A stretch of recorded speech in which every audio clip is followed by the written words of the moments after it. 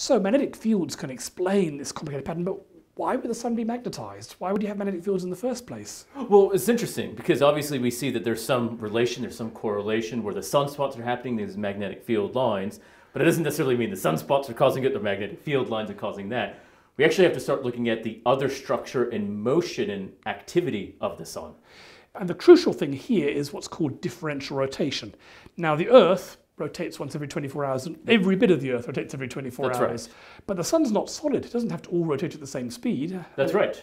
And it doesn't. This has been known for hundreds of years that in fact the equator of the sun spins a little bit faster than the poles. And you can actually see how the sunspots move across the sun and measure this. This is how they've known it for so long. Yeah, but this has been known for over 2,000 years. Both ancient Chinese and Egyptian astronomers had found this out with the sunspots.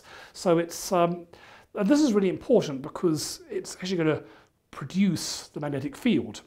It actually occurs below the surface. The helioseismology we talked about last Yep. time is so precise, you can actually measure the rotation inside the sun. And what you can see is that the radiative zone, the zone where the photons are just random walking their way out, all rotates as a solid body. Yep. When you're into the convective zone, you get different speeds, different altitudes, and uh, different depths. So you're spinning around and you're convecting then, therefore, uh, differently as you go. So that means there's different bits of gas are moving relative to each other. It's this relative motion of different bits of gas that powers a natural dynamo. Because these, these are ionized gases, by the way. So they carry the magnetic fields with them and they can pull them out of shape and strengthen them. So here's the current uh, generally accepted model, which is a solar minimum. You have a fairly simple magnetic field. Magnetic field lines, we see them coming out near the poles. Yep. We can't see what's happening in the middle, but we assume they more or less just run from north to south, somewhere through the interior, maybe just underneath the surface. That's right. And it's not too dissimilar on Earth, right? Comes That's out the right. North Pole, comes the South Pole. That's right, and just like in the Earth, we can't see what's happening under the surface. Um, but then, of course, the middle is spinning faster than the poles. So, so the pole is spinning slower. You're starting to pick up speed here, so it's causing the lines to almost bend. That's right, because being a plasma, it's carried along by the motion of the gas. So the fields, instead of pointing north-south, get wrapped more and more like some sort of donut, a sort of toroidal shape, Okay. and that will get more and more wrapped up. So you're really winding up these lines around the middle parts of the sun. So you, you know, with these very strongly wound, just imagine like some giant bit of rubber band, and you spin around, you get it wrapped up in this horrible ball. And what's going to happen is magnetic fields actually become buoyant when they get really wrapped up tight. Okay.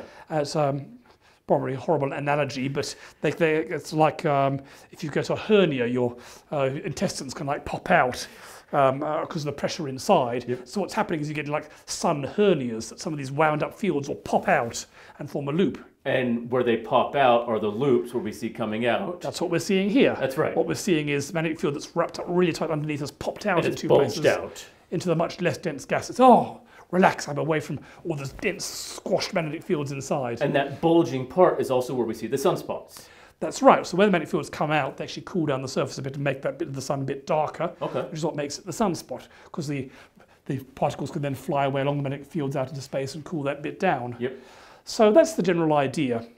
And as the solar cycle gets on, goes on, the magnetic fields get wound more and more Yeah, you're tightly. just spinning them for years. and they get closer and closer to the equator, and eventually the magnetic field lines start nearly bumping into each other. okay. And then a strange thing can happen. If you have two magnetic field lines that are very close in a plasma, Yep. they can actually reconnect. So instead of line here, line here, they might snap together Yep. and reconnect in a different geometry.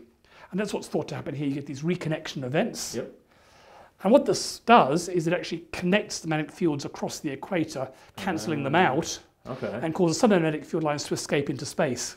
So some go back in, but some actually can pop out and then just keep going through space. That's right. So the overall effect is to weaken things, and so magnetic fields escape into space or reconnect, weakening the magnetic field inside, Yep. and that causes an next solar minimum.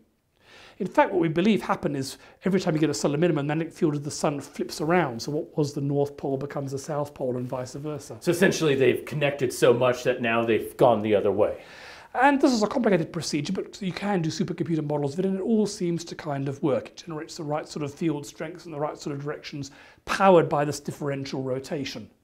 And you can actually see the magnetic fields reversing because you can measure whether the field's going out or going in by various complicated techniques Loved by can kind of radio see it's coming out in one pole and then in the other So it's kind of bouncing and rotating between poles. It's actually a 22 year cycle, not an 11 year cycle. It's 11 years one way around and then 11 years the other way around.